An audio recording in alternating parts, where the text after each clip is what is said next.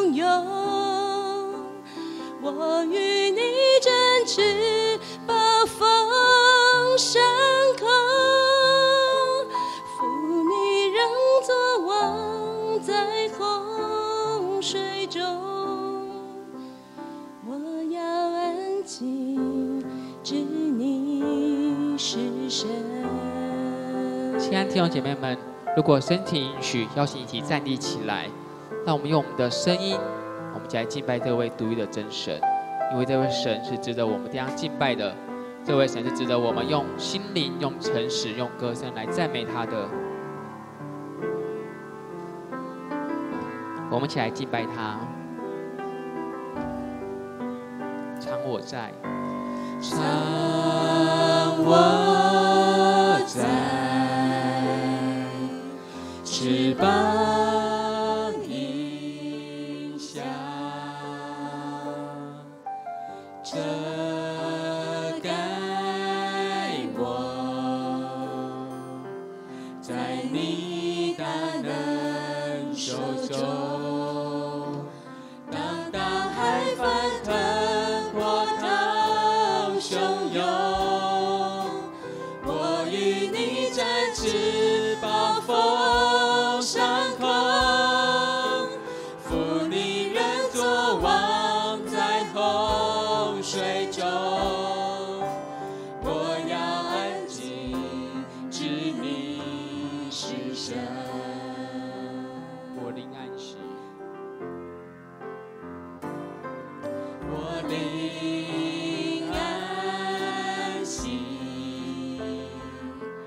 在基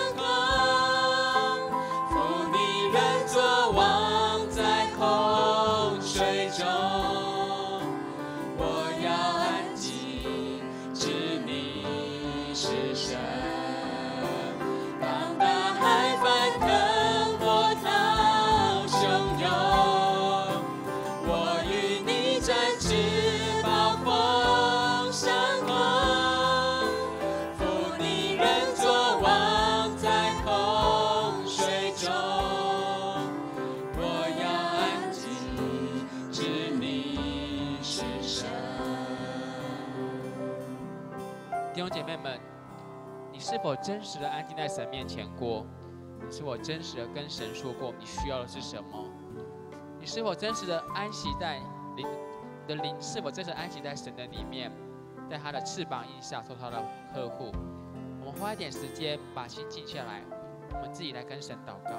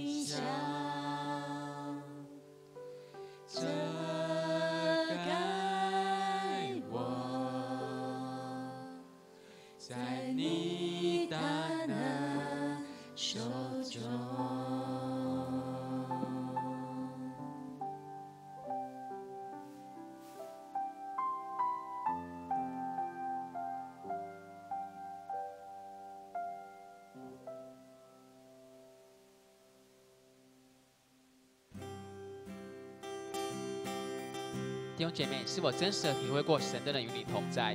你是否真实的知道跟过耶稣的滋味是如此的美好？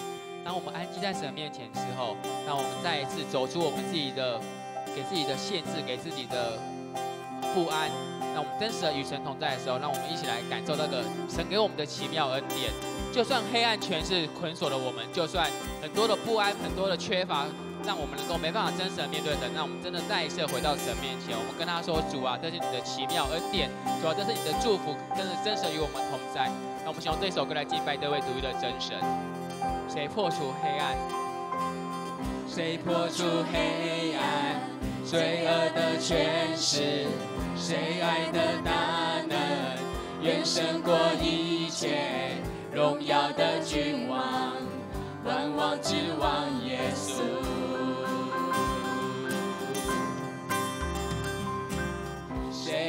神来震动这世界？谁令人赞叹他奇妙作为？荣耀的君王，万王之王耶稣。谁把我混乱？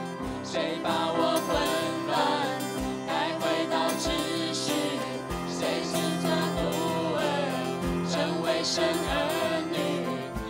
耀的君王，万王之王耶稣。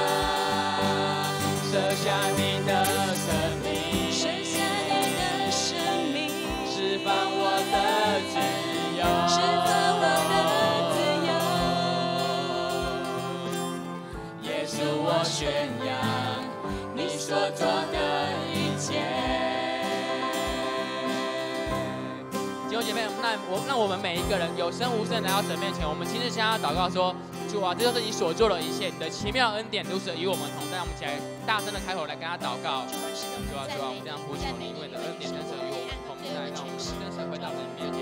那么我们先走出万王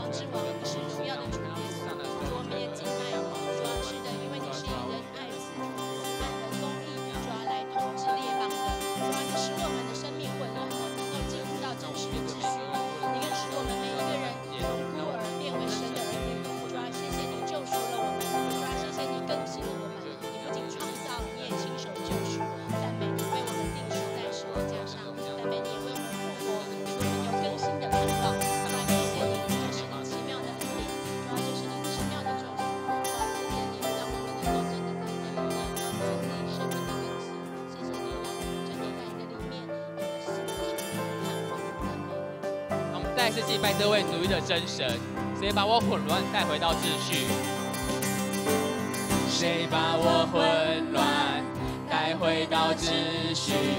谁使这孤儿成为神儿女？荣耀的君王，万王之王耶稣。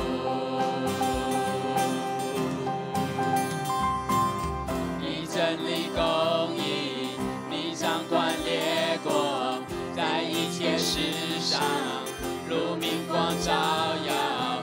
荣耀的君王，万王之王也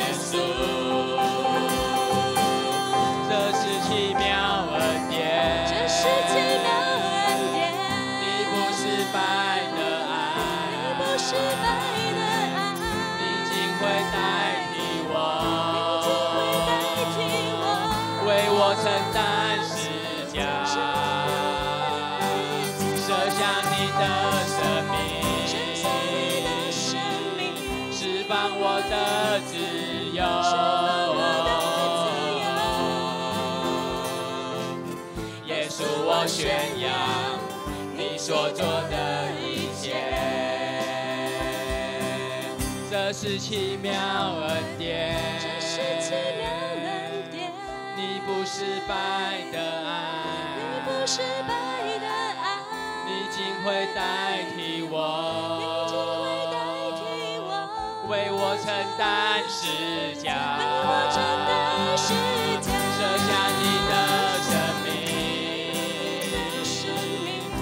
放我的自由。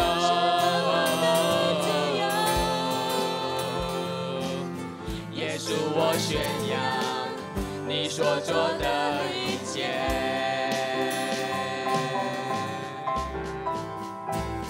耶稣，我宣扬你所做的一切。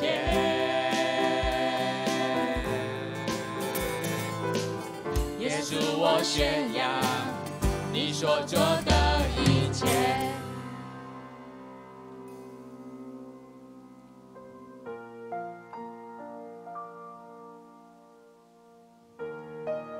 因为这位神是值得我们这样赞美、敬拜、敬拜他的。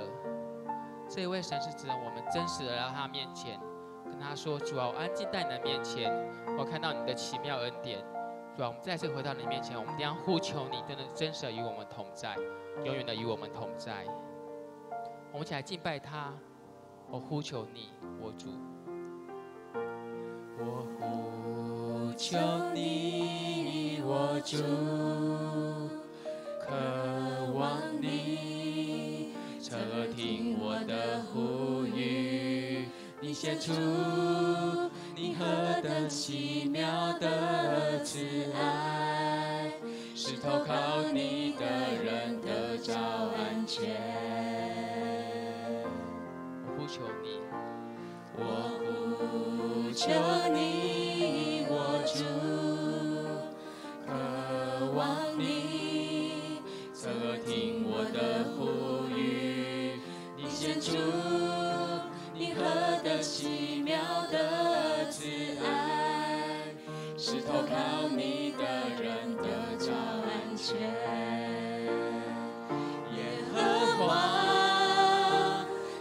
是我的主，信实的主，守护着我的每一步。你的爱充满了我的心，将我隐藏在你翅膀下。我相信你永远与我同在。弟兄姐妹们，弟兄姐妹们，我们再次回到神面前，那我们想想，在你跟随耶稣的这些年中，或这几个月中，或这几天中，你是否真实的感受到主是真实的与你同在？你是否有信心主会永远与你同在？我们每一个人，我们今日回到神面前，我们记得跟他祷告，说主啊，真的恳求你与我们同在。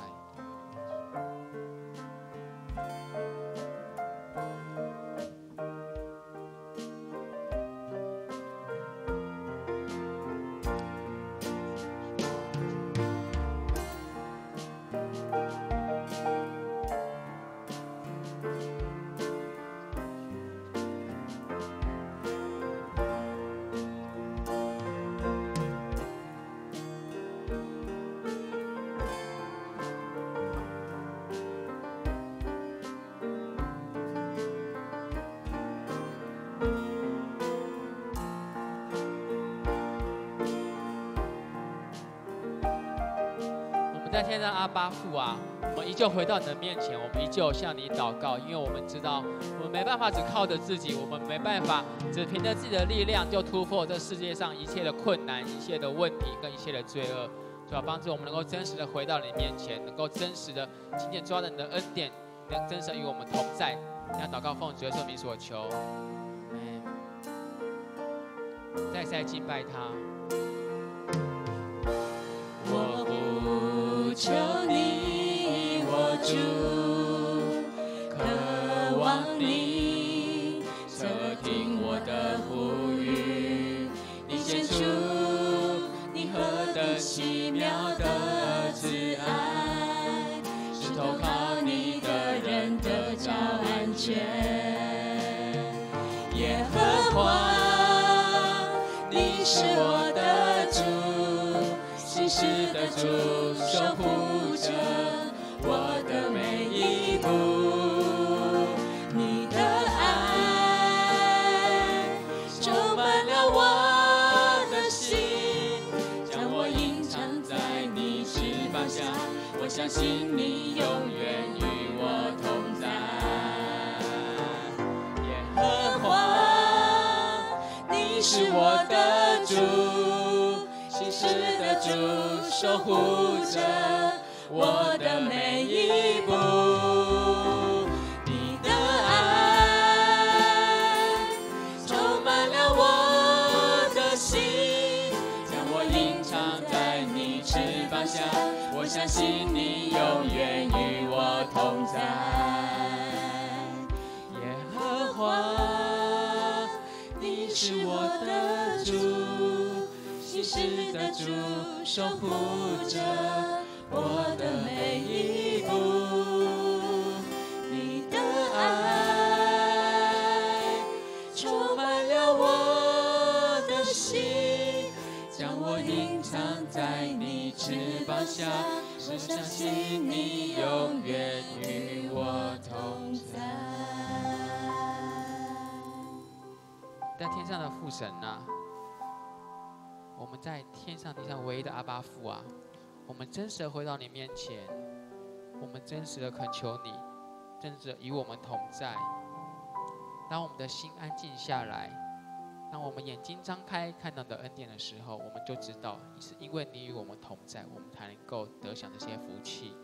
主要让我们再一次回到你面前，单单的享受你给我们的恩典，付出我们的敬拜。付出我们应该做的事情，成为一个你所喜悦的基督徒。我们一定要祷告，在奉告主耶稣的名所求，阿门。我们把时间交给诗会，那么做信仰告白。请我们仍然站立，以尼西亚信经来告白我们的信仰。我们信独一全能的父上帝，创造天地一切可见不可见万物的主。我们信独一的主耶稣基督，上帝的独生子。他在一切的世代以前，从天父而生，从上帝出的上帝，从光出的光，从真神出的真神。是生的，不是受造的，与父同质同体。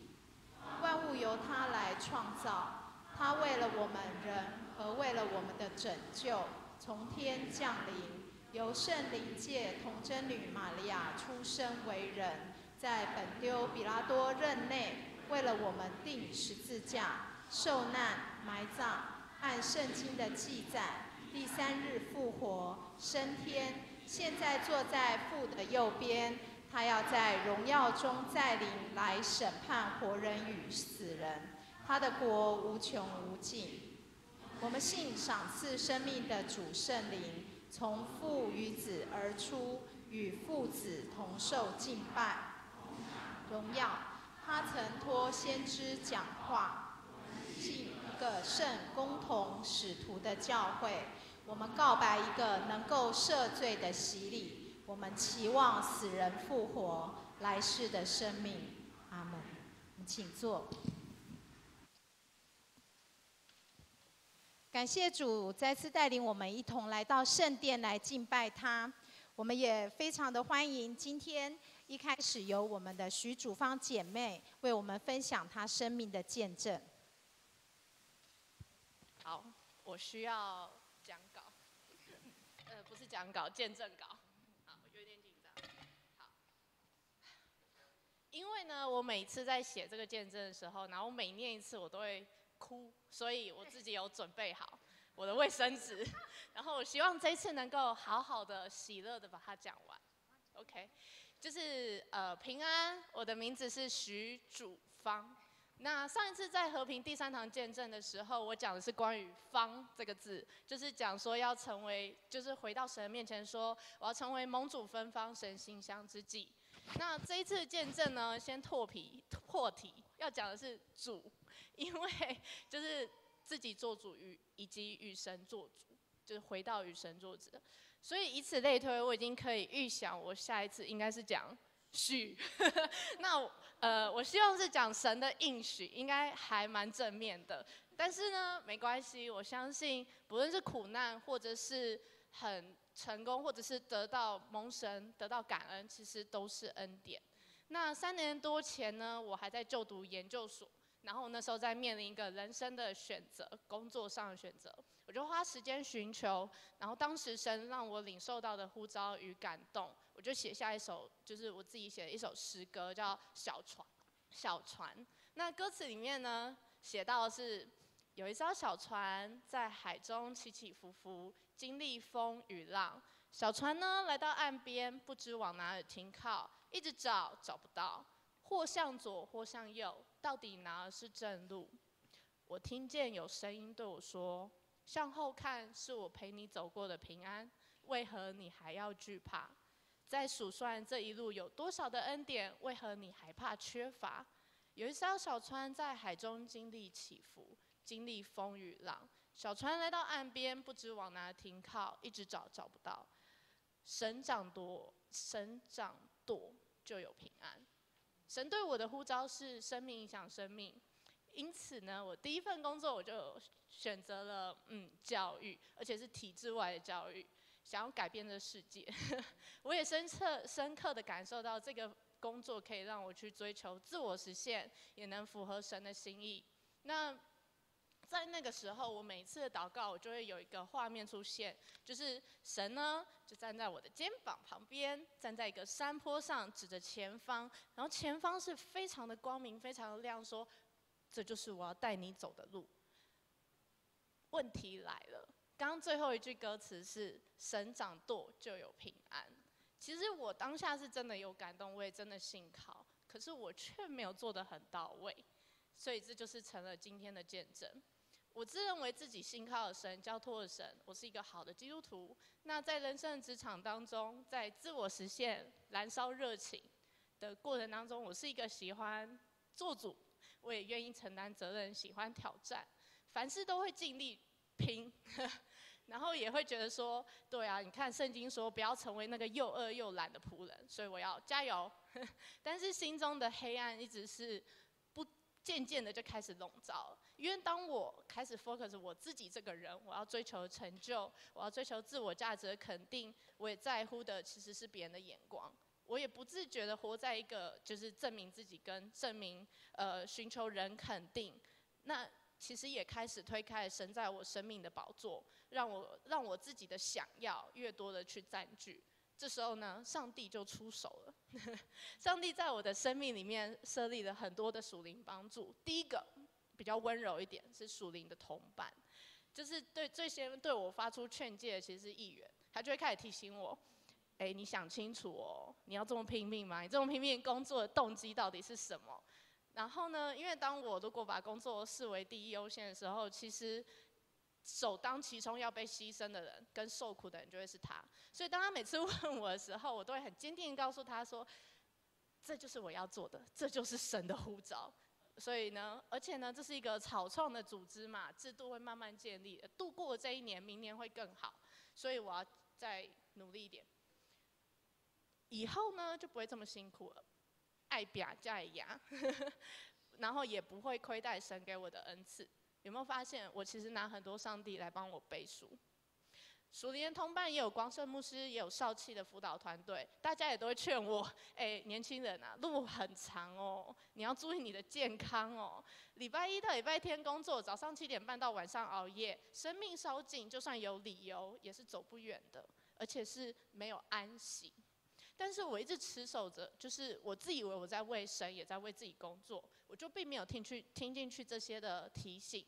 那同样是神的呼召，在少妾服侍呢？我只能说神掌权在当中，因为在这个这个合唱当中，因为我见证到神的事工不会因为我一个人的软弱，他的计划就被耽搁，只是我参不参与在当中，在工作跟服侍的挣扎，我感到非常的痛苦，因为为了工作而少了可以跟孩子们通电话相处的时间，为了工作我在准备一些。教案的时候，我其实是很仓促的。为了工作，我常常就呈现哦很累很累的状态，在小朋友面前。其实我感到的是亏欠，但是反而上帝透过上气少气的孩子们，有一次有一个小孩就传一个讯息，然后呢鼓励我走回正路。他说：“主芳姐啊，最近看起来很累哦，谢谢你工作忙碌，但是还是陪伴我们，为我们祷告。我们也会为你祷告，你要加油。”好。说到这里，大家会不会就觉得 OK？故事要据点了，因为我应该已经学会工作跟安息重要吧？没有，我持续的就是咬紧牙关，就想说，就就是因为上帝看我可能脖子真的有点僵硬，不知道回到神面前，他就再一次因着爱出手到底。以前呢，我常会夸口说，太感谢神了，我是一个从来不会失眠，我是非常好睡的人。但是神就让我在我骄傲的事上叫我谦卑。就是三年来的工作的压力会让我开始失眠，那因因着，可是因为工作可能有时候会有一些成就，我就会开始更牺牲更多的时间，觉得说哦，OK，这是这是好的，这是对的。可是当工作遇到瓶颈，我不再获得高度的称赞，我因为累了，我真的累了，开始思考出现一些短短片，就是思考不是很周全的时候，伴随而来的压力、挫折、受伤跟委屈，让我原本就是。半年偶尔失眠几天，就开始变成持续一个月的失眠，几乎每天都睡不着，睡了又惊醒，才发现，哎，我只睡了一个小时。当一切都失控的时候，我彻底的觉悟，这就是我自己做主、我掌权的结果。莫名的焦虑跟恐惧彻底的笼罩了我。庆幸的是，我还能，我还可以流泪，我还可以灵修，还可以祷告。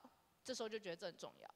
但是我感受到自己其实依然走在黑暗之中。神说他总不离弃他的孩子，可是我却深深的感受到是被遗弃的。原本那个肩并肩看见前方，就是跟神有那个光景的，有一个很有目标的我。我现在在祷告的时候，其实我常看见是一个在原地一直在踱步。上帝嘞，上帝坐在旁边，上帝走了，我妈走了，上帝还是坐在原原地。我常常会看见上帝其实是要跟我讲话，可是我听不懂，我听不见。我只有一直很想要用祷告说：“上帝，来起来，走，赶快走！啊，你不走，我要赶快走喽！再不走，事情很很多事情是做不了的。就算我在低谷之中，我还是想要用我的想法叫神来动工。”甚至在苦难的时候，我和上帝说：“我和上帝生气，你为何弃我于旷野不顾呢？我的神，你在哪里？”神借由希伯来书来提醒我，是我自己走到旷野里面，还对他发怒，试探他。神就用他的话语来提醒我。就不可硬着心，像在旷野惹他发怒、试探他的时候一样。他们心里常常迷糊，就不晓得我的作为。我就在怒中起誓说，他们断不可进入我的安息。听起来还蛮严苛的，但是神也借由他的话安慰我说：所以我们只管坦然无惧的来到施恩的宝座前，我要得连续蒙恩惠，做随时的帮助。第二个帮助我的就是我的属灵前辈，神过透过他们对我提醒。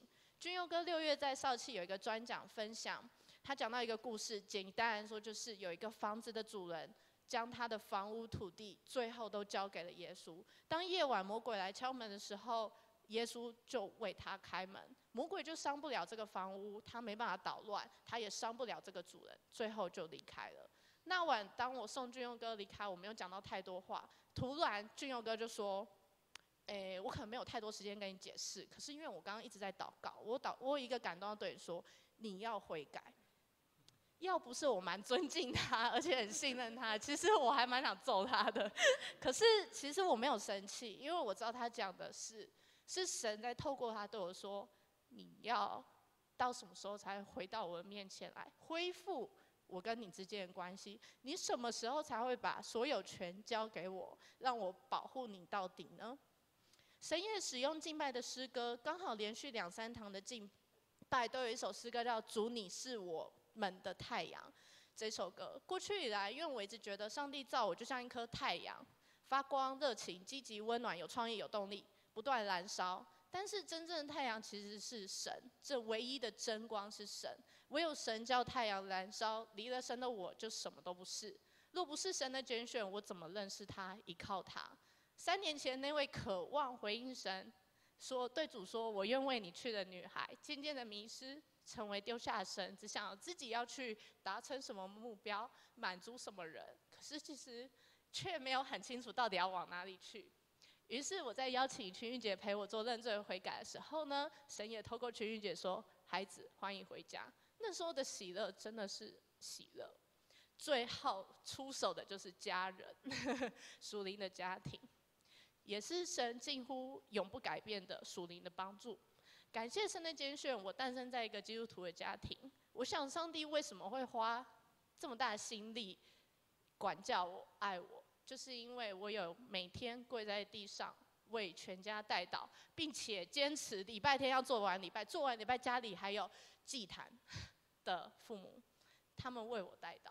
当我跌倒软弱到站不起来的时候，当我失去神的关系的时候，我迷惘不知道下一步怎么做的时候，我的父母并没有说还要我就之后我都帮你做决定，你就降降降 SOP 就做好了，而是倾听，提供人生的经验，再一次用祷告安慰我，将我交托给神，让我自己回到神的面前去做决定。以赛亚书五十五章九节说：“天怎样高过地，照样我的道路高过你们的道路，我的意念高过你们的意念。唯有神知道我的未来，什么才是对我好的。我所领受的使命，只要达成目标。如果上帝没有与我同行，就没有意义。到底什么才是为自己负责的人生？是我自己在生命里面掌权吗？我自己负责吗？不是，是神在我生命里面掌权。我尽力。”将结果交托给他。如果神给我感动，最后一句的歌词是“神掌舵就有平安”。我失眠的状况，我一颗活在活在恐惧里面的心，就唯有在主里面才会成为新造的人。谢谢主，在我的生命里面有属灵的家人、同伴、前辈。但是最重要还是回到我自己，有没有将这个主权交给神，仰望他。与他建立关系，因为在金字塔顶端的是上帝，不是我自己。我承认我还在过程，还有很多放不下的。可是我与你分享那又真又活的神。在有一天的晚上，我对上帝说：“哎呀，你为什么不简单一点？你告诉我，我徐祖芳长什么样子？我有什么优点？我有什么特质？你跟我讲，你讲清楚。以后任何人讲超过这句话以外的伤害到我的话，我都不会在意。”可是呢，神没有对我说。于是我试着说：“好，那我来试着祷告，我到底是谁？”我发现我一个字也祷告不出来。我知道圣经有很多话，可是我祷告不出来，因为我没有发自内心的相信。可是呢，这时候有一个声音，在我安静的时候，有一个声音进到我的心里说：“我是属神的。”当这句话出来的时候，我也跟着祷告说：“是，我是属神的。”这时候，那个声音又说：“你是我的孩子。”我也回应说：“我是你的孩子。”那个声音又说：“你是我所疼爱的。”就这样在来回的过程当中，我非常深刻知道，这是神在对我说话。他已经在这，他就是那又真又活的神。如果我对圣经看得够熟，我相信我应该听得更更多、更清楚。好，谢谢大家。我们非常谢谢主方的分享，请我们一起低头为他做祷告。亲爱的父神，我们真的透过主方姐她的分享，我们也知道你透过她的言语，你也在为我们每一个人说话。主，我们的生命是由你掌权，唯独我们将我们的主权交在你的手里，我们才能够真的是跟随主你的脚步，我们才不会迷失我们的方向。主，你让主方透过这一段时间的的一些辛苦，他看到将主权交在你的手里的重要，也盼望他今天的分享也是我们每一个人的提醒。求主继续带领他前面的道路。仍然有时我们会忘记，还是会将舵再拿到自己的手上。但主在每一次我们将我们自己的舵再拿回到我们的手上时，主就求你温柔的对我们说。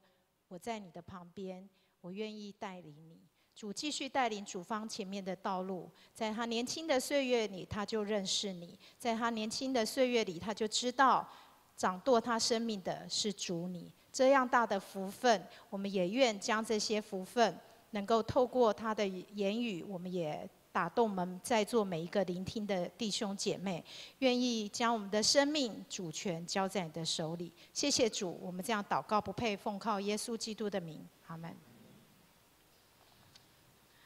我们非常谢谢主方姐的分享。那我们一起来看一下今天教会的消息带导，我太感动了，哈。好，我们八月十三号呢是联合礼拜，哈，就是在上午十点举行。那联合礼拜当中呢，会举行洗礼并守圣餐。那请我们弟兄姐妹预备心，一起来同守主的圣餐。那另外呢，在八月十三号要受洗跟转籍的弟兄姐妹，请注意，在八月六号下午一点半是小会问道理的时间，请将时间预备留下来。第二点呢是关于装备部活动的一个预告。今天下午一点半有一个很棒的讲座，叫做梅比谷的全人教育讲座。那这一次的讲座呢，他们邀请了在梅比谷推动非常有很好成果的，好罗东教会的牧师郑玉志牧师来跟大家分享。那请我们大家。对于想要了解什么是眉笔骨，而且对于儿童跟青少年事工有负担的兄姐们，好或想要了解的兄姐们，都一起来聆听。下午一点半在五楼的礼拜堂。那再一个部分呢，就是主日学的师资也开始招募了。他们预计在九月二号跟九号下午一点到五点举行两周的研习课程。那我们也希望能够邀请更多的兄姐加入主日学师资的行列里面，一同来服侍幼小的小孩，一同来服侍我们的主。第三点呢是呃平安七月生命的分享会。那我们七星中会北二区邀请了艺人倪子君，也就是小马，来到我们和平教会举办见证分享，题目是因为软弱所以勇敢。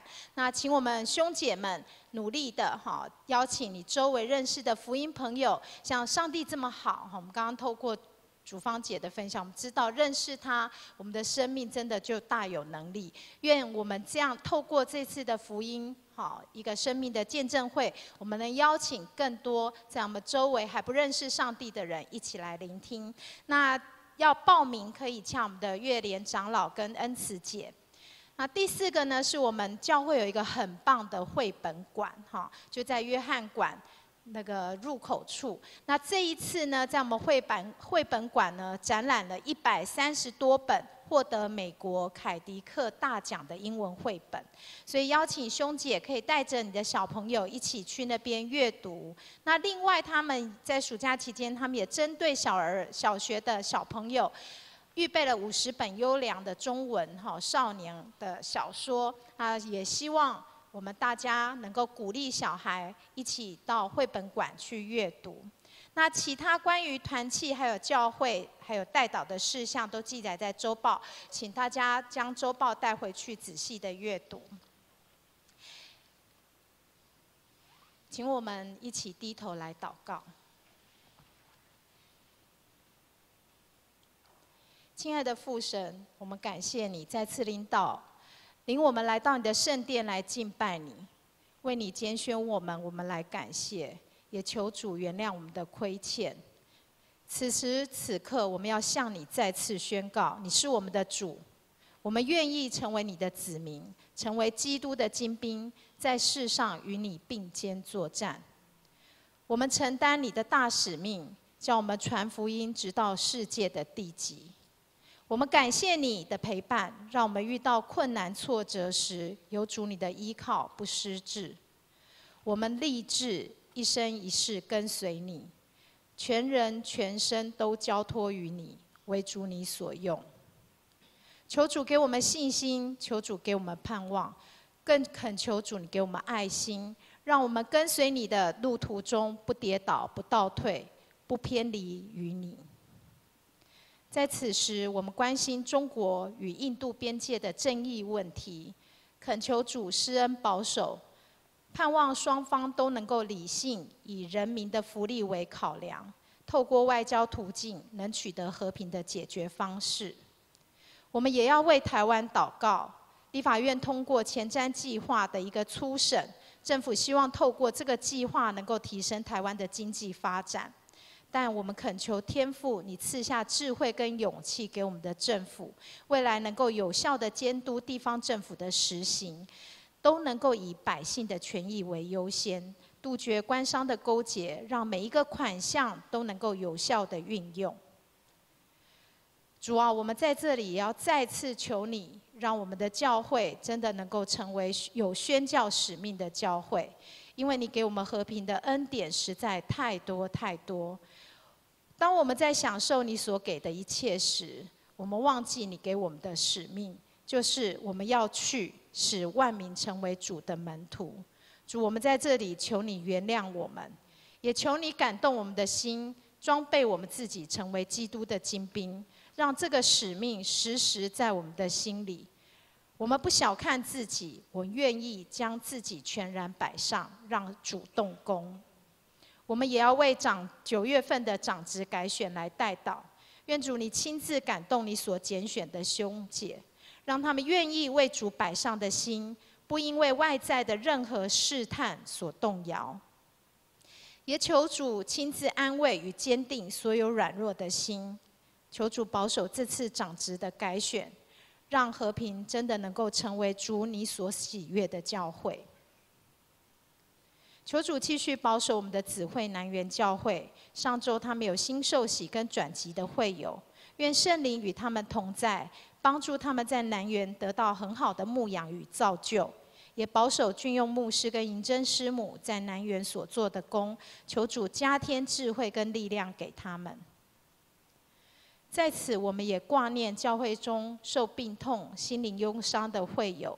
主啊，求你赐下平安跟健康，也求你亲自安慰他们忧伤的灵。我们将今天的礼拜完全交托在主你的手里，求主你高抹蔡牧师的口，使他说出来的话带有圣灵的能力，也安静我们每一个人的心，开我们的耳，求圣灵降临与我们同在。我们这样祷告不配，是奉靠耶稣基督的名祈求，阿门。请我们一同起立来唱奉献的诗歌。我们愿将我们的人、全人、全身，还有我们的金钱，都奉献给我们的上帝。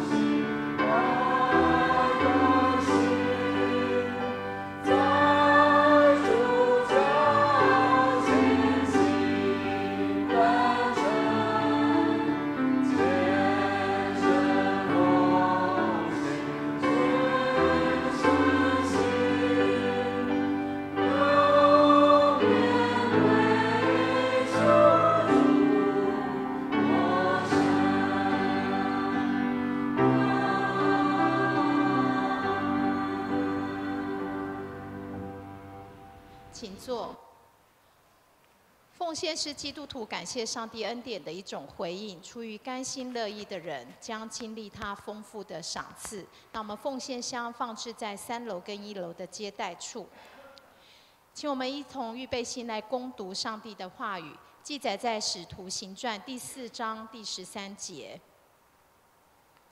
他们见彼得、约翰的胆量，又看出他们原是没有学问的小民，就稀奇。证明他们是跟过耶稣的。我们非常高兴，今天蔡茂堂牧师来到我们当中，他要跟大家分享的讯息是跟过耶稣。大家平安，很高兴可以回来跟大家一起敬拜神。我们今天要讲一个很简单的题目，就是你周围的人怎么认出来你是跟耶稣？跟耶稣的人有什么特点？人家怎么认出来？那我们的经文就是一节哈，那这一节提到彼得、约翰是跟耶稣的。如果你圣经从来没有念过，只有这一节，他们的什么东西被人家看出来是跟耶稣的？他们的什么？胆量，对不对？所以很清楚的，跟耶稣的人不怕死，对不对？他们看见彼得、约翰的胆量，但是呢？一般有胆量的人不一定是跟耶稣的，可能是他有读博士班的，他有学位，他有学问，他是哈佛毕业的，他讲话大声，他说我是哦，他有 academic，他有学术的，有的没有学术，可是他有地位，好，他是大官儿，可是这两个人没有，他们既没有学问，又没有地位，他们凭什么有胆量？所以大家都觉得很奇怪，很奇怪。然后后来再看呢，哎呀，原来他们是跟过耶稣的，所以如果这一节的话，那么跟耶稣的人就是有胆量的。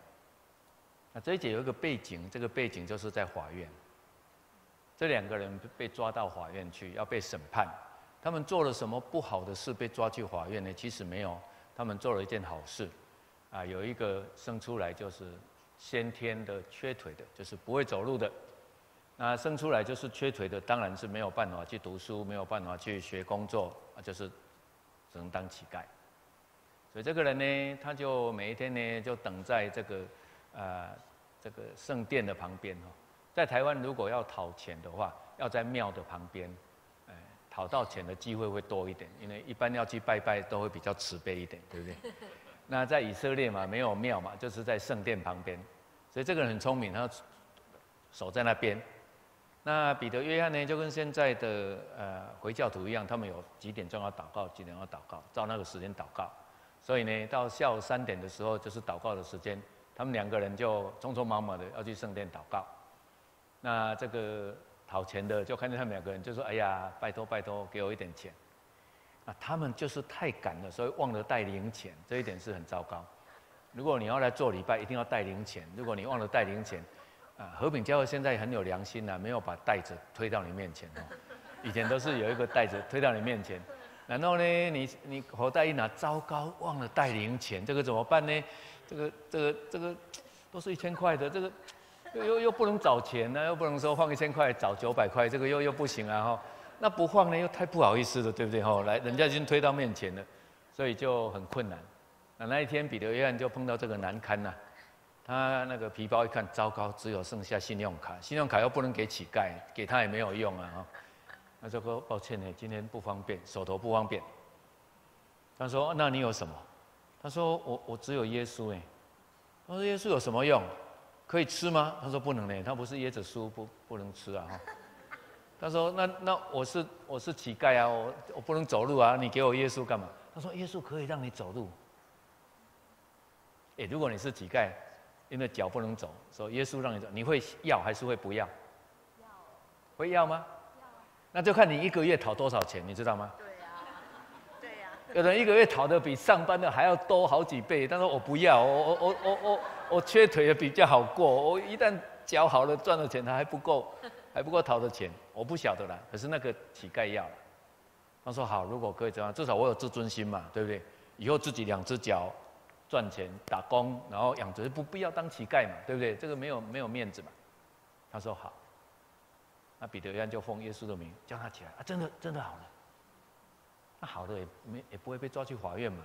但是问题是，最近国家公布不可以讲刘晓波的名字，这样懂吗？也不可以讲一只那个卡卡通的熊的名字，一讲的话，你马上被抓起来，因为这个是敏感议题呀。哎，最近有一些状况，啊，当时的状况就是，耶稣这个人刚刚被判了死刑，那已经判死刑，执行完毕，没事儿嘛。问题是还没有死，就有谣言说他是九命怪猫，打不死的。你把他判死刑，他会活过来。哎，你是一个政府，把他当众判死刑，结果他要活过来，很没面子嘛。那这个谣言一传开的话，这个会引起国家动摇，所以他们就公布。现在开始不可以公开讲耶稣的名字，就是犯法。好了，那这两个傻傻的帮助一个缺腿的乞丐，奉耶稣的名，那也没有什么事嘛，小小声讲奉耶稣的名，叫你起来走。问题是这个人从小就是当乞丐在那边，今天突然跑来跑去，你说隔隔壁的人会不会好奇啊？哎，那是什么回事啊？怎么从小就不会走路的，现在跑来跑去啊？大家都围起来了，那也没有问题啦。就有这狗仔队，知道吗？那狗仔队呢？他一天到晚要报新闻，就找不到新闻嘛。突然发现一大堆人围在那边，就好奇，哎哎，什么代价？什么事情啊？哦，说有一个乞丐，然后还有个叫耶稣的名，啊，就让他哇，他们就访问啊，就露营啊，啊，就放上电视呃新闻啊，结果就被这个警察局的安全局就看到，哎呀，有两个人公开讲耶稣的名，这一下糟糕。犯法了，所以这这一节圣经是他们帮助一个可怜的人，结果他们犯了一条法律，现在被叫到法院。那法官当然问他啦：“你为什么这样子？”他说：“哎呀，可是他很可怜呐，那我没有钱呐，那我们耶稣人这样这样有有什么不对呢？”所以这个，哎呦，这个好大的胆子哈！居然已经被抓到这里，还还这样勇敢，这个就是呃这个背景。那我们来看一下，所以呢，今天我们要学的很简单，两个功课。一个就是别人有困难，你有慈悲，对不对？好，那个那个缺腿的，你愿意慈悲帮他。第二个是由于这样子，你自己有困难呢，你有骨气，你有勇气，你敢。虽然政府说不可以，你觉得这个是该做的，你敢。所以呢，见别人软弱欠缺的时候，你有慈悲；为了你的信仰碰到逼迫困难的时候，你有勇气。好，我要考试了哈。跟耶稣的人有两个特点，第一个特点是别人软弱欠缺的时候有什么？慈悲。慈悲。那如果自己为了信仰碰到逼迫困难的时候，要有什么？好，那我不必讲了吗？我们结束好不好？其实哈那么远呢，我从东石来呢，应该傻逼死，再给你们多一点呢哈。就是万一在教会里面大家意见不同的时候，要有谦卑。好了，现在我们是三点了，对不对？第一个是别人有困难，你要什么？慈悲。第二个是自己为了信仰碰到困难，要有什么？勇气。第三个是在教会里面大家意见不同，要有什么？好，那就好了。那这里有一个小朋友，我快七十岁了哈。啊，如果跟我年龄差不多的，应该都得过这种病。这是一个病人，你们在座年轻的恐怕没有机会看。他的特点是。他整个脸红的快要变黑，很红。得这个病的孩子会发高烧，非常高的烧，然后不小心呢会变成肺炎，会 secondary infection，然后就会死掉。我都得过这个病，那个时候台湾每一个小孩子都得过。现在你们没有机会了，为什么？医生发明了疫苗，vaccine，你们一出生。没有几天就被抓去医院打那个 MMR，如果你们知道 MMR，就是 Measles、Mumps 跟 Rubella，所以这些滤过性病毒对小朋友很厉害的病呢，没有机会到你们身上，所以现在小儿科甚至没有机会看。我们那个时候每个小朋友都会得到这个病，小妈妈就把你关在这个蚊帐里面，怕你感染别人，也怕别人感染你哈。那我们都度过来了，好，那。有人说：“吼，信耶稣像得麻疹，你听了会很高兴，还是会很生气？你好说不好说，什么什么什么什么信耶稣像生病一样。”他说：“长得满脸满身，一眼人家都看出来，这个人出票，台语叫出票，而且出毛啊，得麻疹。干嘛信耶稣像生病一样呢？那个不是我说的，耶稣说的。耶稣说我是最好的医生，我来只找病人，这样讲对吗？所以我们有病，我们才去看医生嘛。你没没病干嘛？住在台大医院里面的每一个都是病人，都同意不同意？有没有健康宝宝去住在台大医院住院？没有嘛，对不对？那所以我们都是有问题，所以我们才要当基督徒，这样能对吗？那没有病的要做什么？去慈济嘛。好，所以一般来讲，教会平均都比社会差，这样懂吗？一个正常的教会的里面的人都比外面的人烂，就好像台大医院里面的人都比外面的人不健康，这样懂吗？那慈济没有只收坏人，所以慈济好坏都收，所以呢，慈济平均起来会比教会好。我们有时候搞错了，以为说教会都是好人，所以教会就很好骗，知道吗？你以为来教会好人才没有，是坏人，因为耶稣不收好人，耶稣只收坏人，只收病人，所以这句话讲的是没有错，就是信耶稣呢，就像生病一样，满脸满身，而且人家一看就看得出来，那别人怎么看你是信耶稣呢？他们怎么看呢？有两个方法。一个方法是看你礼拜天做什么事，另外一个方法看你周间做什么事。啊，耶稣讲说：“你们这些假冒为善的文士法利赛人有祸了！你们把薄荷、茴香、芹菜，好，献十分之一。那律法上有更重要的，叫做公益、怜悯、信实。哎，你们不做，但这个更重要的你们要做，那个也需要做。所以耶稣说，这里有两种表现。”有一种是薄荷、茴香、芹菜献十分之一，有一种是公益怜悯信使。你们在家里有没有妈妈炒过一盘菜叫做茴香炒，整盘都是茴香？没有，我们炒菜是会炒菜，然后加一点点茴香，这样讲对吗？有没有一盘菜都是薄荷？也没有。哦，看日本菜，我们种很好的沙沙西米，然后就放一片薄荷。啊，这个叫做什么？叫做调味菜，这样懂吗？我们叫做小菜，不是菜英文哦，就是一点点的菜呀。你看薄荷、茴香、芹菜都是调味菜，就是小小的。那那些法利赛人文士呢？他们连那个小小的都很认真，都很照这样规定，因为他们。啊，规定哦，做礼拜的时候要献十分之一。他不止大的献十分之一，他连小的也献十分之一。所以这些人是很认真的哦。你不要笑他们哦。我们今天坐在这里的很多人，十分之一都没有在线哦。所以当你要嘲笑华丽善人以前，先自己摸摸良心。我曾经听过一个年轻人跑来问我说：“牧师啊，那个十分之一是税前还是税后？”我说：“感谢主。”至少你已经在意了。耶稣说：“随便你，睡前也好，睡后也好，因为大部分的基督徒都是胆薄，就随便献一点啦，才不在乎呢。和华利赛人在敬拜神的事情，他们很认真，可是，在日常生活的表现，他们不在意。做事情有没有公道？讲话有没有信用？”别人有困难，有没有慈悲心？这是别人看得到。你礼拜天的时候有没有奉献？你的朋友他不来教会，根本看不到。知道我的意思吗？他根本看不到。他们看得到的是，他跟你在一起的时候，你的为人处事有没有表现出公义、怜悯、信实？所以耶稣说，这个是更重的。你念过英文吗？This 就是比较近的这个，That 就是比较远的那个。所以这个 this，这个就是公益怜悯信实，啊，that 就是那个就是小菜，偶尔茴香芹菜，那这个我把它称作生活伦理行为，就是礼拜一到礼拜六，你跟附近的人、邻居、家人、跟朋友、同事相处的时候，人家看到的是怎么样？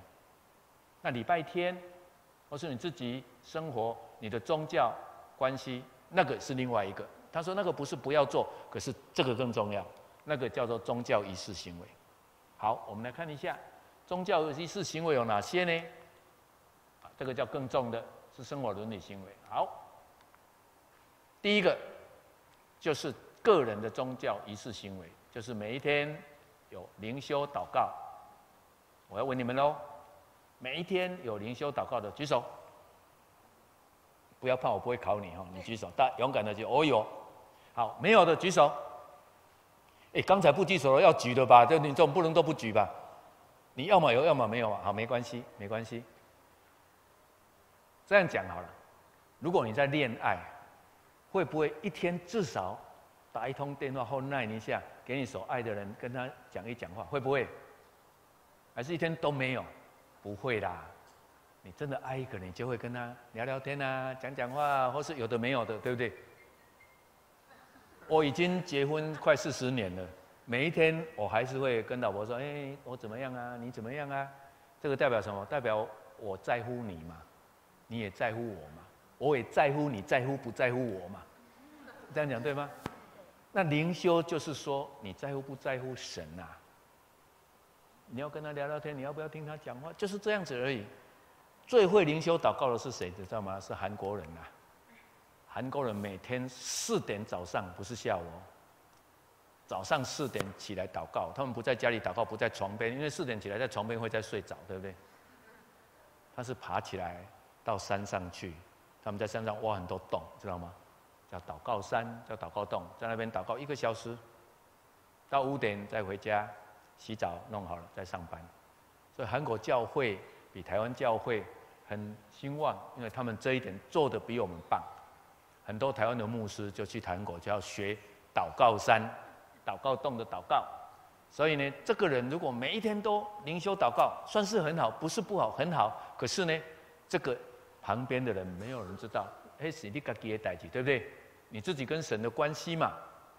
好，如果你参加敬拜团，好不好？我们刚才带我们敬拜赞美的弟兄姊妹，请站起来。不管你弹琴的、打鼓的。我们拍手，谢谢他们哈，请坐。做礼拜如果只有牧师讲道，真的很无聊，至少要唱唱歌，对不对？那唱歌呢？你刚才唱的很好听，为什么呢？因为他们花功夫练习，同意吗？绝对不是来的时候这样弄就可以，不可能的。他们要互相配合，要要背歌谱、背歌词，对不对？所以这个叫做热心教会侍奉。这种人不久就会当执事了，一般是这样的。好，我们九月就要选举的了哈，啊，再不久就变长老了。啊，当当执事、当长老比当牧师还惨，因为牧师至少还有薪水，刚只是、当长老做工没有钱，还要奉献。这个叫做热心教会侍奉，你知道我的意思吗？你不只要来教会参加礼拜，我愿意让这个教会更好。我为你教主日学，我为你参加诗班、参加敬拜团，我为你做这个做那个，不然教会怎么会这么好呢？有很多人在背后服侍，这个好不好？好。问题是，你的朋友如果他不来教会，他们根本不知道你在教会做什么，对不对？他们感觉不来，所以热心教会侍奉也是属于宗教仪式行为，这样懂吗？那是你们在拜拜做的事情啦。如果你太热心的话，神会感动，那很危险哦。神会感动你去念神学院，这个这个要很小心。嘿我那时候年轻的时候就是不知道这一点，没有牧师跟我警告，就好热心哦。你知道我在念医学院的时候啊，我还带了我们同我们的教会啊，和平教会的青年，跑到那个第七宿舍，台大第七宿舍旁边有一个叫做九三幺，有一个那个癌症病房，那很多阿兵哥那个癌症的在那边哈，我们去唱歌给他听啊，我们去传福音啊，哇，好热心哦哈。太热心的结果，神就感动你。那你干脆当传道好了。你这个这个很危险哦，所以你们要小心。你们这些热心的，神就感动你说好了，下定决心，我不做了，我就是当传道。当你决定的时候，教会的人会觉得你很棒，还是觉得你很笨？当一个年轻人决定说我要献身传道的时候，哇，那时候校园团契一知道，还叫我去清宣。去做见证呢哈，第二届清宣我去做见证呢哈，说这个人很为了主愿意牺牲奉献啊，什么讲了一大堆啊，是青年楷模啊哈，什么的哇，全教会人都说很棒，只有一个人说不棒，就是我爸爸。我告诉你，如果是你的孩子，念了医学院七年，然后突然说不当医生要去当牧师，你一定说啊，你要当牧师你就不要念医学院了，给他开下点钱，花那么多钱，念了那么多，那那干嘛嘛？在美国，讲台语的教会找不到牧师，为什么？很少这种讲台语的，在美国，而且可以当牧师，所以美国的移民教会、台湾人的教会，常常就拼命祷告：神啊，你感动我们当中有人愿意去奉献，当传道人。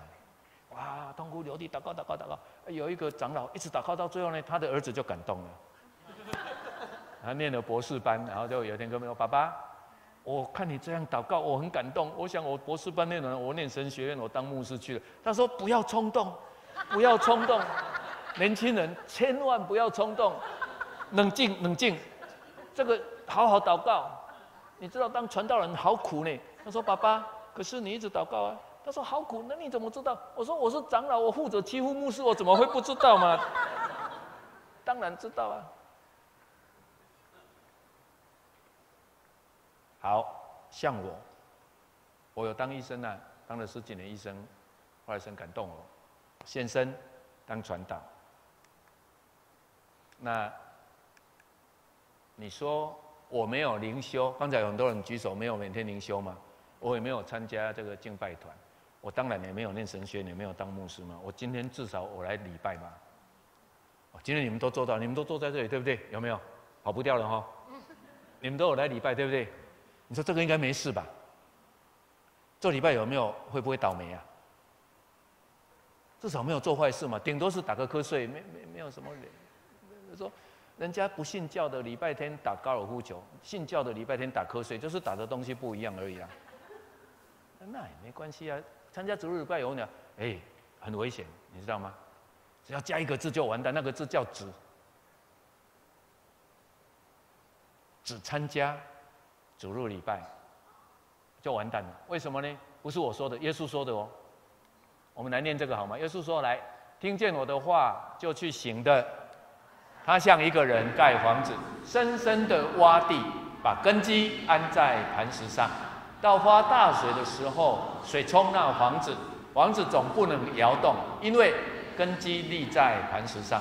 唯有听见不去行的，就像一个人在土地上盖房子。”没有根基，随冲随即倒塌了，并且那房子坏的很大。注意，耶稣说有两种人，有一种听见就去行，对不对？有一种听见不去行。好，他们都在盖房子。注意哦，所以礼拜天来做礼拜就是听道理。你们都在盖房子，可是盖的方法不一样。听见有行为的，那就是盖在磐石上。可以大水来没有问题，如果听见就不去行的，那是房子盖在沙土上，大水来了，土石流下面一掏空呢，房子就垮了。如果你听到就是盖房子，将来审判你的就是那个房子，因为房子倒了就把你压死，对不对？如果你不来做礼拜，起码大水来的时候你还可以游泳，对不对？还可以飘飘飘，至少没有房子压你。所以，请记得，不要以为我礼拜天来做礼拜没事，有事。为什么？耶稣要你的，不要只来听道理，因为听了要去做，懂得我意思吗？你的宗教仪式行为，一定要想办法翻译成为生活伦理行为，才不会变成道理经。我们叫做得力家，知道吗？每个礼拜来听礼拜，哇，听的头很大，知道吗？道理懂得很多，可是都不做，人家看不出来，你只是做礼拜而已。所以我今天只有一个目的，希望你从这里回去以后，下个礼拜的生活会跟这礼拜这礼拜的生活有一点点不一样。哪一点点？看见别人软弱欠缺的时候，都一点点慈悲；为了信仰碰到困难逼迫的时候，有一点勇气；到教会大家意见不一样的时候，都一点点的谦卑。不要只是嘴巴讲，不要只是知道。去做这样的话，做礼拜就有意思了。你知道，一年五十二次礼拜，你的生命神就有机会慢慢的帮你调，人家就会看出你是跟过耶稣的，不是只是礼拜图，你是跟过耶稣的，是耶稣基督的门徒。所以呢，我们要怎么样把我们的宗教仪式行为翻译成为生活伦理行为？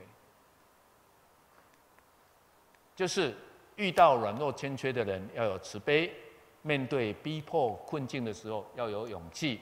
我们在彼此的关系态度上要有谦卑。啊，我这个故事非常的明显，因为我就碰过一个跟过耶稣的人，那个人就住在我们家隔壁，他叫蓝大弼，他是张基的院长，是英国人，他是英国皇家院士，neurologist，神经科医师。我那时候是念初一，在我们周围，现在的彰化基督教院，就是那时候叫朵波，就是靠近白沙、靠近花坛，要往那边走的。彰化的近郊，那时候很比较偏僻，不像现在盖很多房子，我们就住在那边。那蓝大碧他们夫妇每一个礼拜天晚上就邀初一的小朋友到他们家请吃晚餐。他们的餐厅可以放两个桌子，一个桌子可以坐十四个人，那就是很大的桌子，很大的桌。两个大桌子上面可以有一个小桌子，菜放在上面可以转的。我那时候很好奇，转半天怎么不会掉下来？它就粘在那里。啊，他要请厨师，他们家里有厨师，没有上饭。他们请吃饭是没有饭，就好像人家娶新娘是上十二道菜，慢慢上菜。我们那时候家里很穷，每个礼拜只有一个菜叫做高丽菜，所以呢营养不良，面有菜色。然后到礼拜天就等。每一个礼拜就是那一个晚上是补营养，虽然英语不会讲，硬着嘴巴去，因为他不要传教，他只要一个进到我的餐厅只能讲英文，就是这样，只能讲英文。他们两个人一个人坐一桌，不吃的，一直问你学校什么事什么样，家里怎么样，一直问你，你一定要用英文回答。当然，注意的怎么会讲英文嘛？可是那个实在太好吃了，所以硬着头皮还是去吃。那一问呢，你英文讲不出来呢，台语就跑出来了。哦，抓到了，罚站。被抓到就一直站着吃，吃到吃完。我开始被罚站很不舒服，后来发现很好，因为站着拿菜比较方便。不信你用你们试试看。结果一站起来呢，哇，可以拿好几盘，坐下来只有两盘。哎，这是我初一的印象。那那个时候，我的第一句英文还用中文写的，叫 I'm sorry。就是我用中文写的，因为你讲讲的台语嘛，就要起来跟人家道歉嘛，所以每一次起来就看一下，I'm sorry，然后就开始开始夹菜吃。我都不晓得感恩，就是想这样。后来我有机会要出国留学的时候，台湾教育部规定托福要五百分，否则不能出国。美国的神学院规定要六百分，否则不收你。满分是七百分，所以要求蛮高的。所有台湾的孩子考托福最怕的就是听不懂，他那个录音放出来，听不懂，还没有听懂，人家已经下一题出来了。日本、韩国跟台湾吃亏的，就是我们的说跟听比不上人家，比不上香港、印度、菲律宾。读跟写我们不差，这个我们可以。可是我们这个 Spain 就是。voice 这个发音跟听啊，我们差很多。可是那个时候，这个兰大毕医师夫妇，他们逼我们的就是要我们去听跟说。初一的时候，我都不晓得，他是为了我们的前途，将来万一有孩子有机会出国健健身的时候，这是我们最大的罩门，最大的遗憾。等到我要出去留学的时候。我在恒春当医生呢，全台湾要去留美的，一定到每家补习班补托福。每家补习班只在台北，恒春没有。我在恒春呢，不可能到台北来补习啊。我就只有来台北买了几本考古的，然后就蹲在恒春看病人，有空就在那边翻一翻这样。好了，考到六百七十分。你说哇，你好厉害！开始我也觉得自己觉得了不起，自我感觉良好。后来想想不是，是我初一的时候，这个英国的医生就已经替我预备。你晓得我的感觉吗？所以在那个时候，我心里面说，如果这个是基督教，这个我要，就这样，让我变成基督徒，还变成牧师，一直到今天。为什么？因为我看见一个跟过耶稣的人，他没有讲道理，没有逼我查经或是开布都都没有，他只是活出来。那我看见他会愿意帮助这些弱势的、这些软弱的孩子，不是给他钱，是帮助他可以站起来，对不对？我我亲自看到这样，所以那个时候他们有时候就放歌给我听，我就一直这个故事一直记得很清楚。那个歌就是英文的，我们听的哈。他们看见彼得、约翰的胆量，没有学问，小民就稀奇，发现跟耶稣这个背景是，因为有一个生来缺腿的，天天放在圣殿的门口讨钱，一个是慈悲，一个是勇气。那为什么我记得那么清楚？因为那时候他们就调这一首歌，我们可以听啊。But sirs, I hand it to thee in the name of Jesus Christ. Oh Nazareth, rise up and walk. You're walking and leaping and praising God. Walking and leaping and praising God in the name of Jesus Christ. Of Nazareth, rise up and walk.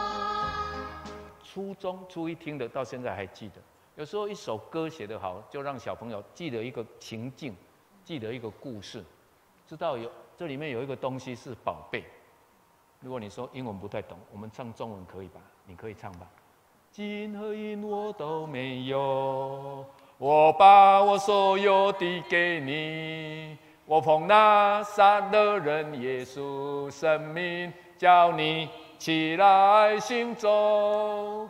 他就行走着，跳跃着，赞美主；行走着，跳跃着，赞美主。我奉那撒勒人耶稣生命，叫你起来行走。刚才没有唱的举手，有吧？你们都唱吗？声音那么小吗？这次我要看看水没有开，等一下让他独唱。好，我们第二次应该可以唱的吧？不，不是太难了。其实你学一首歌。这个故事就进去了，只是一首歌嘛。哦，来，预备起，金和银我都没有，我把我所有的给你。我奉那杀的人耶稣生命，叫你起来行走，他就行走着，跳跃着，赞美主。行走着，跳跃着，赞美主。我奉那三的人耶稣生命，叫你起来行走。我们都会唱嘛，哈，至少学了一首歌了，哈。好，那我们知道信耶稣跟学问没有关系。注意听，并不是有学问的人不能跟耶稣，是说 irrelevant。有学问的人，没有学问的人都可以跟耶稣。耶稣不在乎你有没有学问，应该是这样的意思。但是有学问的人比较不会跟耶稣，为什么？因为觉得自己了不起，所以后来就起不了，对不对？不学无术，保罗说不是我说，他说知识叫人自高自大，只有爱心可以造就人。我喜欢英文这个表达，英文说 knowledge pops up, love builds up。那个 puff，中文叫做泡芙，有没有吃过泡芙？泡芙就是外面很好看，里面空空，没有没有东西，对不对？然后塞一点 margarine，塞一点白白软软甜甜的东西，大家喜欢吃，有没有？那个叫泡芙啊。所以读书的人常常是很好看，可是里面没有爱心呐。哦，他说你有爱心，人家才会感动。让我感动不是兰医师，是英国皇家院士。是因为他对我们那些孩子看出有爱心，爱心造就了我，不是他的学位，知道吗？那这种好看的里面没有东西的这种，我们台语叫碰轰，碰轰哈。除了吃呃番薯会碰轰以外，还有一种动物很会碰轰，那种动物叫做水蛙。台语叫做追鸡，那个不是公鸡哦，那是田鸡哦哈。因为什么？追鸡也分鸡龟，这样懂吗？什么叫做分鸡龟？知道吗？那个青蛙哈，它会把自己的下巴呢鼓一个大气泡，鼓一个大气泡。它干嘛要鼓大气泡呢？原来是到春天的时候，所有那个青春期的青蛙，呃，青少期的青蛙都会到池塘去，啊，去呱呱呱，去去找找男女朋友嘛。因为春天到了嘛，哈。那有一有一个小青蛙就很认真，每一天时间到了，到傍晚的时候就呱呱，可是那个声音实在太难听了，呱。所有的小姐青蛙对这种声音一点兴趣都没有，他们喜欢的是熟蛙，那种叫出来就果果哇，他们就昏了，因为人也是一样的，那种五六年级的女生看不起五六年级的男生，他们喜欢的是那种比较成熟、高富帅的，对不对？这个同学那个还在流鼻涕，那个看起来哎呀。嗯一点都不好玩，所以呢，这个小青蛙很委屈啊，它很认真的叫呢，没有人要理它。春天要过去了，如果找不到女朋友，它这一下就要到孤单一人一年，到明年春天才有机会。他难过的时候，他的朋友就跟他说：“你很笨，你不会练气功吗？”他说：“怎么练气功？”他说：“你不会一直吸气，一直吸气，然后憋着不要吐出来。”他说：“干嘛？”他说：“你就鼓一个大给龟呀。”他有什么用？他说这个就是共鸣箱啊。那当你鼓了一个大的风箱的时候，那个声音呱就会变成果果。他说哦是这样子吗？他说是啊，不信你试试看。那一天他就一直练气功，结果练好了。到傍晚的时候，他去那边哦吸了一个一个大大气泡，然后就开始发生了果果哇，真的不错呢，很有磁性。有一只小水青蛙就昏倒了。哇呀，这有一次因为台电还没有拉电灯嘛，所以他看不到啊。他就听到那个很性感的那个熟蛙的声音嘛，那那个小水青蛙就跟他结婚，结果太阳出来，糟糕，是小青蛙，来不及了，因为生米煮成熟饭，已经结婚了，对不对？可是，在人类不是这样，常常常是姊妹，她是扮得很漂亮，结婚那天非常漂亮，那老公很高兴，结婚那天晚上一卸妆，哎，怎么这样？啊，都来不及了，因为已经结婚了嘛，对不对？有什么办法？哦，这里没有什么意思了，只是说，呃，青蛙跟人不太一样，就就就是这样而已。那不管怎么样呢，你装的太好也没有用，因为有一天呢，给龟会破掉嘛，人家会看出你的真面目嘛。所以真的让人家感动的，不是你装的很好看，而是什么？你真的愿意帮忙，你真的愿意对人家有爱心，人家真的感动。所以我说，与其不给龟啊，不如看见青蛙小姐要跌倒的时候，你拉她一把，可能这样还比较有效了哈。好，如果你说我没有碰风。那么，如果是小姐的话，找到一个好老公，至少可以穿碰滚，叫碰滚吗？那个，如果你是在那个欧洲封建时代，老公是这个贵族、王公贵族的时候，老婆就可以去五金行买很多铁丝，然后她的裙子下面就放很多铁丝，那穿起来裙子就是碰滚啊。我们中国的评剧，那个是大官就放一个汤扣，放一个那个在这边，就表示我很伟大，你不要靠近哦。那外国欧洲的是那个裙子很碰，对不对？哇，这个就是代表我老公是有有头有脸的，这个叫做有地位嘛，哈。保罗说，耶和华不看你魂都碰，他在乎的是到底你有没有真的有爱心呐。所以地位也不在乎，不是说有地位的不能跟耶稣，是说有没有地位，耶和华不在乎。你要跟耶稣有地位也好，没有地位也好，因为这个没有关系的，这个名望没有关系哈。他不看你的滚都碰，他看你有没有爱心。好，所以跟耶稣的人有两个特征在这里。耶稣直接碰到一个白手的，不是白脚的，那个中风的那个手不会动的。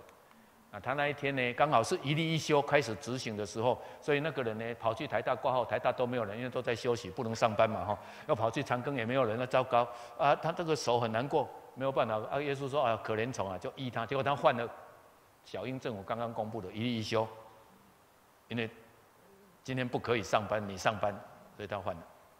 结果呢，他得罪了两种人，一种叫做西利党，一种叫做华丽赛党。如果你知道的话，用今天的话就是一个是民进党，一个是国民党，这样懂吗？所以在野在朝都得罪光了哈，他就是科批了。那所以呢，呃，民进党跟国民党就说，我们先不打架，我们握握手，先把他打死，然后我们再继续打这样。所以耶稣很可怜呐，耶稣为了帮助一个可怜的白手的。他有慈悲，可是他得罪了在朝在野，他们不只是要对付他，他们要把他干掉，要把他除灭。耶稣最后真的被判死死刑了。所以，为了自己的理想、信仰，有勇气；为了别人的软弱欠缺，有慈悲。耶稣有这个特点，耶稣的门徒也有这个特点。所以我们讲两个，一个是慈悲，一个是勇气。耶稣的门徒彼得、约翰也有。好，接着跟你们说，我要怎么跟耶稣呢？有四个二给你们。第一个二就是耶稣跟不来的，因为耶稣的生命跟我们不一样。除非你先有耶稣的生命，否则你没有办法。不是你要不要跟的问题，没有办法跟。这一张图是达利画的图。这一个人呢，站在下面，他仰望挂在十字架的耶稣，这是 cubism 哈，这个立体立体的。那他的意思就是说，耶稣我们必须要先仰望他，然后再来跟随他。讲这句话的不是我，是是不真。英国的讲道王子他说，基督必须先是你的救主，然后才能成为你的榜样。所以要跟耶稣的人，第一个 R 就是要悔改，愿意相信耶稣，让耶稣的生命进到你的里面，然后你再开始跟吧。好，我们在座已经受洗的举手，我看看，已经受洗的很好，你们第一步有了，我悔改，对不对？我受洗了，那再来要什么？再来就是要查经，对不对？因为耶稣的生平只有圣经，别的地方没有。耶稣现在不住在台北，你看不到他，就读圣经。所以呢，你要学这只狗，因为因为这只狗很认真，它读的不是圣经，它读的是 NIV Study Bible，这个是很厚的一本圣经哦，它很认真。因为呢，所有耶稣的事情都记在圣经里面，所以第二个 R 就是 Read the Bible，我们要 Repent，我们要 Read the Bible。那第三个 R 怎么样呢？你除了看圣经，你要看自己啊。耶稣这样做啊，我怎么做啊？差多少？这个就是你进步的空间嘛。所以你要会看自己，看自己怎么看呢？当然照镜子才能看自己嘛。所以我们要学姊妹，姊妹很喜欢照镜子，对不对？为什么要照镜子呢？看哪里有脏啊，哪里有缺点啊，要把它弄漂亮一点啊，对不对？这个叫做什么？自我反省。自我反省。所以有句话说：“吾日三省吾身。”这第三个二就是 review your life，自我反省才会知道自己差耶稣差多远，才知道哪里需要改善。这句话谁说的？吾日三省吾身，谁说的？孔子吗？孟子？曾子？曾神？好，他叫小三，所以他叫曾生，对不对？他在家里可能是老三，所以我们有有读书的哈，他懂。很多时候我问了半天都讲孔子，因为孔子爱说话，所以我们都忘记了。我们讲孔子猜对的机会蛮大，可是这一次就是猜错了。这是曾子的哈。吾日三省好，那你既然懂，我问你，三秒钟、三次、三件事，三什么三呢？是啊。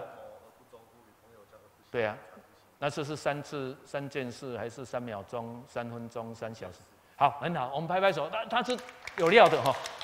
哎。他不是随便，他是有料的，所以省了你们很多紧张的时间，不然会一个一个问。三件事，这不是基督教哦，这是中国的曾子，不是孔子哦。这个人是曾子，不是孔子，不要以为画这个样子就是孔子哦。他是小三，所以他叫曾三哈。他说：“为人某不忠乎？做事情有没有认真做？跟朋友讲话有没有信用？”牧师拼命的讲，你回去有没有练习？对不对？牧师讲的嘴边都是泡泡，你回去都不做，没有用啊，对不对？光说不练，所以三个。曾子说，每一天如果会自我反省三件事，你的人格有机会成长，有机会转变。那这是东方的哲人，西方有一个哲人，他是讲希腊文。这个是谁？有没有人认识希腊文？他的名字刻在这里。对了，他叫 Socrates 啊。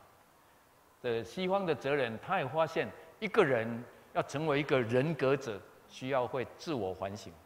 所以他说，生命如果没有自省，就没有价值。所以你看看东方的哲人、西方的哲人都教我们，做一个人要会自我反省。圣经也有一个人叫诗人，最近他的图被挖出来。他在诗篇里面写了一篇诗篇，也说要反省。请问这个诗人是谁？啊？是大卫还是小卫？为什么是大卫？因为他喜欢写诗嘛。一样啊，我们猜他对的机会很大。说抱歉，不对。这次又猜错，不是大卫，他叫阿萨。有没有认识阿萨？如果你不认识阿萨哈，那我告诉你哈，你你就多一个利，你就记得了，叫阿萨利。做人要阿萨利，知道吗？那你把利去掉，就是阿萨。阿萨呢，他写了一个诗，我们可以一起来念哈。好，我们一起念来。我想起我夜间的歌曲，扪心自问，我心里也仔细省察。所以你看，不管是曾参，不管是苏格拉底，不管是亚萨，他都告诉我们，一个人要成长，必须要会看自己，而且会看到我哪里地方是可以再成长的呢？他是夜间，对不对？所以我鼓励大家，早上起来读圣经、祷告，晚上睡觉反省一下，再睡觉。讲一个小故事，我在芝加哥住了七年多。芝加哥的特点是冬天很冷很冷，下雪冰，非常冷。我开始去很高兴，我说冬天很冷，夏天应该很凉。不对，夏天很热很热很热，它是四季分明的。冬天很冷，所有的前院后院的草都被雪盖住了，都结冰了，所以呢，都死光了。但是奇怪，它的根还在，我们叫做春风吹又生，对不对？所以呢，到了春天的时候，当雪融掉的时候，哎，一下子那个绿绿的又长出来，不止绿绿的长出来，还有小小的野花，那个黄色的小小的花也会长出来。那有一个妈妈，她每一天知道说，先生下班最重要是晚餐。她念过一本书，叫做《掌握先生的胃，就能够掌握先生的心》。哦，这个很重要哈，就是把胃看好，因为。那个男人一旦饿肚子吼，那个血糖低，脾气都很不好，所以怎么样都不对，所以就把他好好的，把他让他吃的舒舒服服，他就对你很好。所以这个太太很相信这个，所以每天到四点多，他就赶快厨房下厨，因为先生五点半下班，都煮好了，大家吃的很高兴，然后家里都很美满。所以那天四点多呢，他就赶快在炒炒炒。你看各位姊妹，你在炒菜怎么炒？就是这样嘛，对不对？在炒炒炒炒炒。那他的小女儿呢？就跑到后院里去，看见，哎呀，冰退了，那个小草长出来，还有小花，他就拔了一点草，拔了一点花，要跟妈妈说，春天来了，就是这样子。但是呢，妈妈妈妈妈妈就跑到厨房，结果妈妈没有看到，妈妈在忙嘛，就砰碰了他一下，他的整个那些手上的都掉下去了。妈妈头也不回说，我们不是跟你讲，妈妈在厨房忙的时候不要来吵，爸爸快下班了，我赶快要煮完，你怎么你怎么又来吵？结果那个女儿很可怜，就哭哭哭哭哭，就跑到楼上去了，不敢讲话。那妈妈就继续炒啊，先生回来了，哇，很好，炒完了，大家吃晚餐，收拾好了，要睡觉的时候，这个妈妈有一个习惯，睡觉以前她会想一下，今天有什么事情。哎呀，四点多的时候，我在炒菜的时候，我的女儿跑来说：“妈妈，妈妈，妈妈！”我都没有问她什么事情，我就骂她说：“你你你来吵我！”她就哭着走了，不晓得什么事情，她就走到厨房，打开电灯。看着地板，那个他发现被他踩烂的花，黄黄的还粘在地上，还有一些草。他就想说，我的女儿可能是要来告诉我春天来了，可是我都我急嘛，看也没有看他，也没有问他，就骂他，他就跑掉了。所以他想说要去跟女儿讲一下话，他就走到楼上，打女儿的房间。你睡了吗？女儿说还没。妈妈可以进来吗？可以，他就进去。妈妈第一句话跟女儿说：“下午四点多的时候，哇，女儿大哭，哭得很凄惨。说我没有要吵你，我没有吵。说没有没有没有，妈妈现在在问你说，你下午四点多是不是到后院摘的花？要跟妈妈说。说是啊是啊，我没有吵。说啊，妈妈抱着她跟她说对不起。妈妈那时候很急，连问都没有问，就怪你，就说你来吵，然后还碰了你一下。”请你原谅妈妈。我请问你，如果你是这个女儿，那天下午的委屈是不是在当时就化解了？对不对？那妈妈来问你，来跟你抱歉，也没有什么大不了。但是问题是，如果这个妈妈没有这个习惯，这个女儿的心里可能就留下一个疙瘩，知道吗？我没有做什么不对的事，我只是好意要跟妈妈说春天来了，结果就挨骂，还还碰了一下。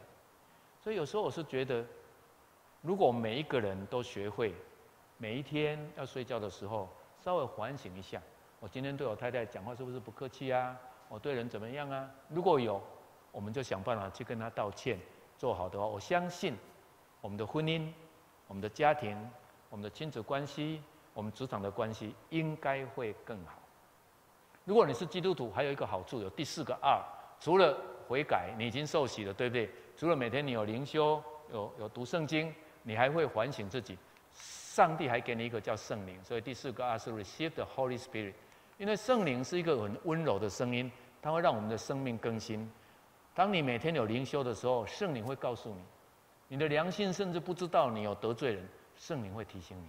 但是你必须要给圣灵机会，你要有一段时间安静，你才听得到那个声音。所以我们有四个二，这样的话你可以来跟随耶稣。保罗在哥林多前书十一章一节这样说，我们一起来念来。你们该效法我，像我效法基督一样。为什么要这样讲呢？因为基督已经不在台北了，所以这些不认识基督的人，他只有从效法基督的人身上来看到基督的样子，这是唯一的方法。我今天之所以在这里，是因为我在初一的时候看到一个英国的医师，他让我看到他是一个效法耶稣的人，所以我变成一个我也愿意效法耶稣的人，就是这样子。所以你说你要传福音吗？就跟神祷告说，让我成为一个别人看了会羡慕，会说如果这个是基督教，我要，这样就好了。口才不必很好，也不必讲别人不对，或是别人比较差，都不必。就说你们笑话我，像我笑话基督一样，那我就是跟耶稣的人，耶稣的榜样。道成肉身住在我们中间，有恩典，有真理，有这两个东西。还有耶稣说：“如果老虎当中难到这儿来，我就使你们得安息。你们看我的样子是柔和谦卑，谦卑的人就可以得享安息。所以我说，我们今天有三个功课可以学习：恩典就是遇到软弱欠缺的人有慈悲；真理就是面临逼迫困境的时候有勇气。”温柔就是彼此关系态度上有谦卑。我们自己，我们大家来念一遍。来，恩典是遇到软弱欠缺者有慈悲；真理是面对逼迫困境时有勇气；温柔是彼此关系态度上有谦卑。我们一起祷告。主耶稣，求你帮助我们，那我们不要只做礼拜。我们每次来礼拜，我们都希望我们可以从圣经学到一点生命的道理，而不只是增加知识，让我们的生命可以被转变。至少今天，让我们碰到别人软弱欠缺的时候，我们可以多一点点的慈悲。为了我们的信仰，我们碰到逼迫困难的时候，我们可以多一点点的勇气。如果在教会弟兄姊妹意见不同的时候，那我们多一点点的谦卑。我们这样跟你祷告，奉靠耶稣基督的名，阿门。我们唱回应的诗歌，我们站起来唱好吗？主，我愿向你。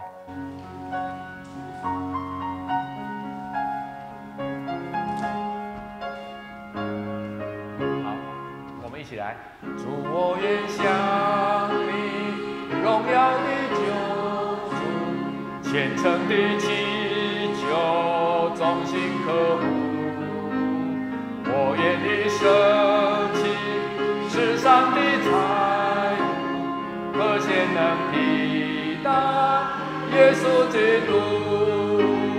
主，我愿向你更深的向你，荣耀的救主，像你模样，像你的甘甜，像你的贞洁，在我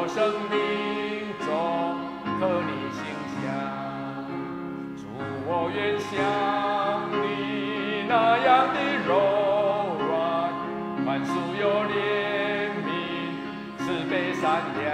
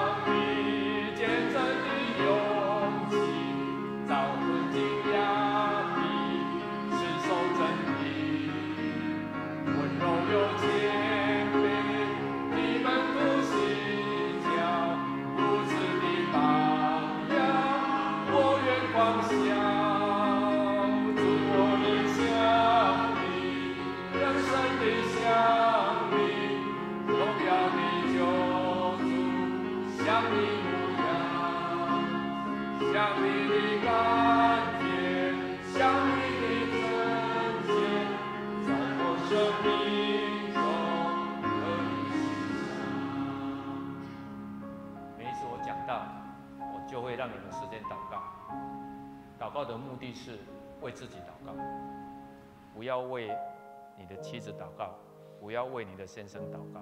这个时间为自己祷告，你祷告的只是说，让我不要只做礼拜，就这样。每一次的礼拜，我的生命一点点改变。我不知道你要跟耶稣要多一点慈悲，还是多一点勇气，或是多一点谦卑，或是三个都要，没有关系。但是不要不拿，这样你做礼拜没有用，只是将来审判的时候多一个审判，给自己找麻烦。所以你跟神说。让我可以改变，一点点都好。我们为自己祷告好吗？我们低头。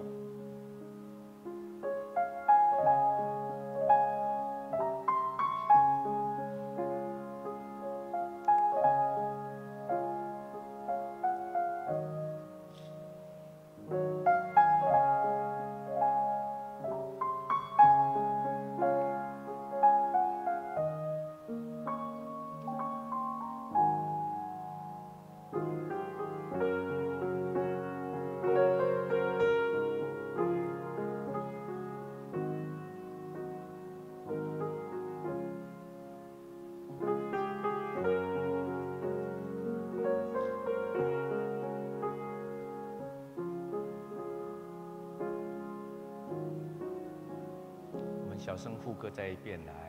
祝我愿向你，更深地向你，荣耀的主，像你，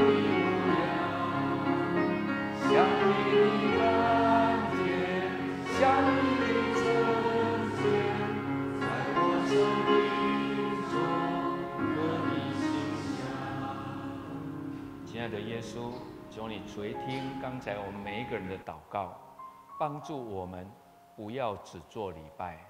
我们既然把时间拨出来，既然到这里来敬拜你，那我们可以带一点圣经的真理回到我们的生活当中，让我们碰到有软弱欠缺的人，我们的手放得开，多一点点的慈悲。当为了信仰，我们碰到逼迫困难的时候。那我们的脚可以多挺直一点，可以活出多一点的勇气。当我们在教会大家意见不同的时候，让我们的腰可以放软一点，可以多一点点的谦卑。我们这样向你祷告祈求，奉靠耶稣基督的名，阿门。我们来领受祝福。愿耶稣基督的恩典、天父上帝的慈爱、圣灵的交通感动。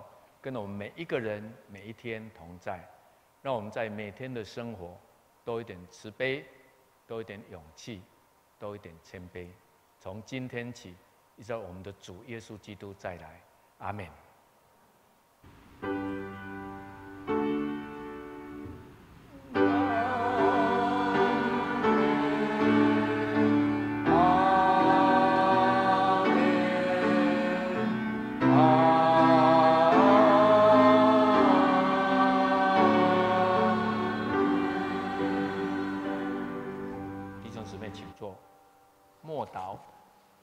到这里，有需要的兄姐可以留步，同工愿意跟你一起祷告。